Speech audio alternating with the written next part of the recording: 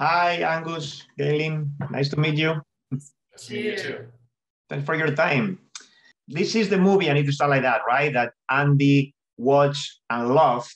And, and that's why he his favorite uh, toy was uh, Buzz Lightyear.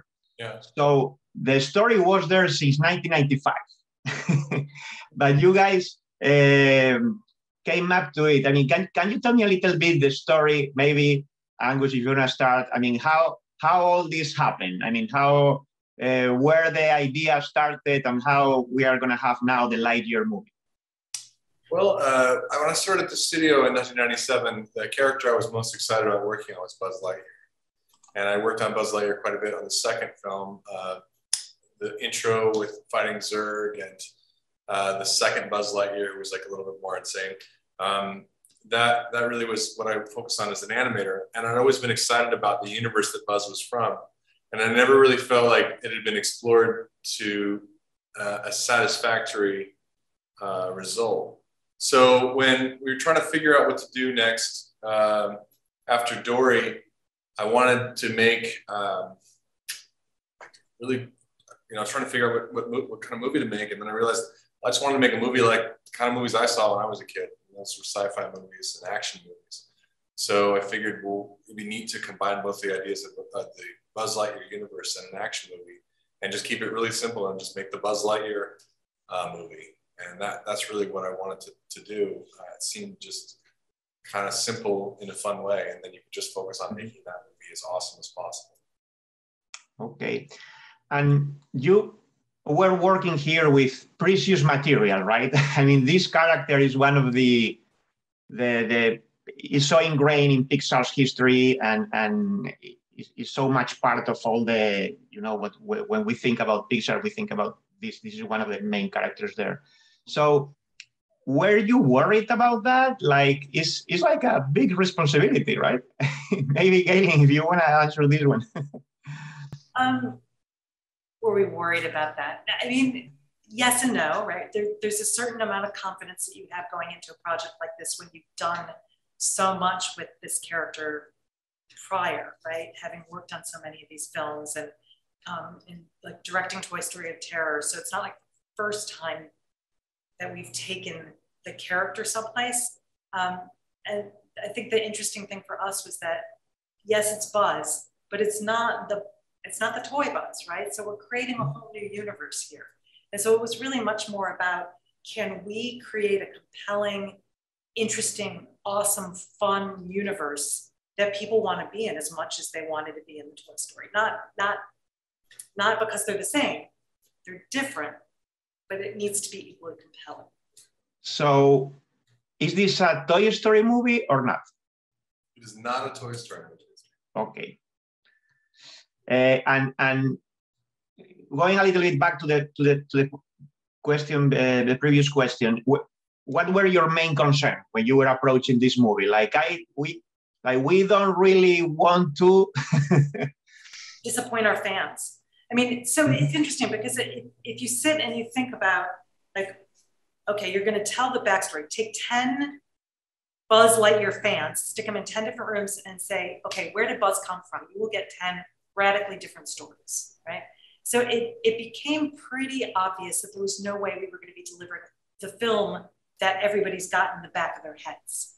So we had to make a film that's so awesome that when they go and see it, they say, okay, so it's not what I was expecting in the movie I would have told, but I'm glad they told that movie because that movie was a lot of fun.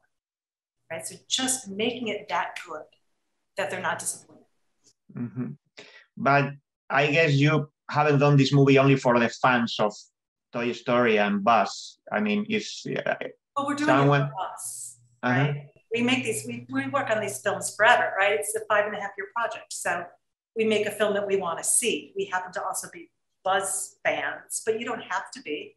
You can go mm-hmm. see this movie and never have seen a Toy Story movie before, and you'll you should be able to have a, a very good time and enjoy it without any of that about the animation, I mean, the, the, the, character has been in different movies across, I mean, different decades. Uh, animation moves, changes fast, and, and technically, I mean, uh, and and but obviously you have a lot of tools available now that they were not there 10, 20, uh, almost 30 years ago. Uh, but the character is the same. How do you manage that thing? I mean, because obviously you don't want to change the, the, the character so much that this it, it, it does it, it looks different or, or feels different from from previous movies. Uh, although this is not the toy, by the way, but as you said, so it's like it's not exactly the same character. But uh, were you like dealing with this situation in, in your mind? You're working on the movie. Yeah, well, we have a the stylization of Buzz, of course, is different than the toy, but there are things in the way that it's animated that make it feel like Buzz. Uh, sometimes it's really small things, his eyebrows, the length of his upper lip, uh, the way that his he, he looks left and right, the way he just moves. There's a certain flavor of what makes Buzz Buzz. And although the toy is a different physiognomy than the human character, there were definitely things that made it not look like Buzz. And so there were just a, a, a language of just as we're drawing the character is a different model and looks differently than he does in Toy Story. It has the feeling of Buzz, but it's but it's it's changed a bit. The motion was very similar, where we tried to uh, interpolate the motion in a way that, that felt appropriate for that character. Okay, thank you. And what would you think is going to be the most surprising thing in this movie for for the fans? I don't know what's surprising. The, the cat talks. That's pretty surprising. Um, the I don't know. Um, I think that the surprise will be this isn't exactly what they thought it was going to be, because how could they? And it's ended up being something that they enjoyed. I think that, that it's it's such a you know we, have gone down a very specific road that's that's a little unusual, and I think that we love it, and I think that they will too when they see what it is. And the last one for each of you, uh, what was your favorite part of having worked in in this movie?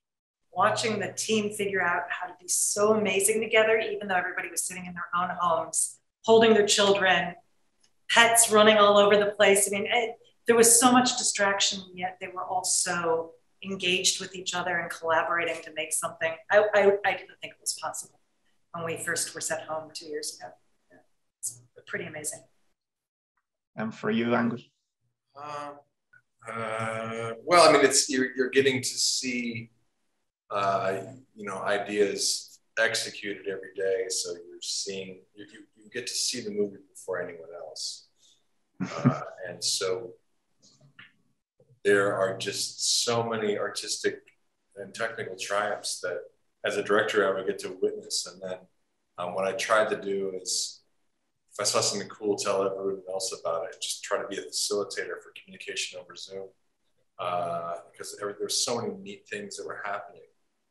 Um, but I think ultimately, when we saw like a test audience, we watched the test audience, that was really great because they were really excited about it. You know, finally see with an audience and they get it. We were so separated because of uh, COVID that uh, that was nice because we, we've been so away from each other. Thank you so much. I'm really looking forward to watch the whole thing. Thank you. Thank you. Thank you.